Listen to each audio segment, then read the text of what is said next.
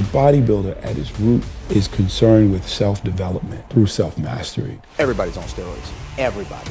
Look at the guys in the Olympia stage, and you're hitting a pose, and, and then you're like.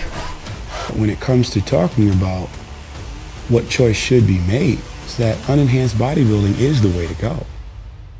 This is time right now for natural bodybuilding to grow, where everybody's seeing that health is the most important thing. It's a real regime almost.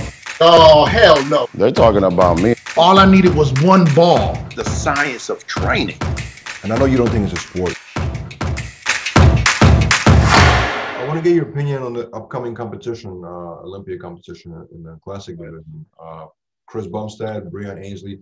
How do you feel about the two, and uh, who do you think will be victorious this year?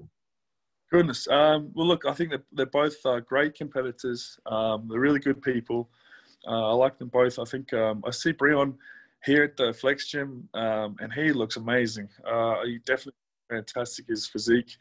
Um, I haven't seen a lot of Chris Bumstead. Um, I know he's got a very he's got a he's got a high caliber um, build too, um, and it really is. It's they've both got these fantastic, unique physiques. So it'll be a toss up between those two.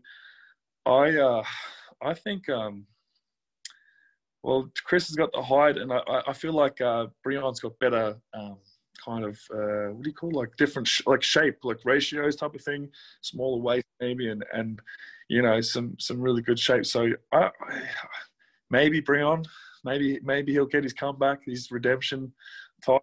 Uh, I think I would be surprised if Breon if Breon takes it out, only because I've seen him and I've seen his conditioning and uh, and where he's at right now, and he does just just just he's just transformed every every day. He's like changing. So um, I wouldn't be surprised if he won it, um, but we'll see. It's hard to yeah. say. I'm curious. You know, I definitely think that one day, and by one day I mean next year, you're gonna be on that stage with him. Actually, I can. Like, I, I think it's gonna happen personally. I mean, and I, I want to see how you were compared to them. You know, because I, I feel like you kind of like you know you do have the the height as well, like Chris, and I feel like maybe Olympia they want to see more of that. I'm not sure, you know what I mean, but I want to see like kind of like you three on the stage together. I want to see the comparison. It would be awesome just to um, just to be up on the stage with them. You know, they're they're respectable and they're good athletes and uh, they're great for the industry. They've got um, they're uh, you know they're they're a positive uh, force on the classic physique stage and.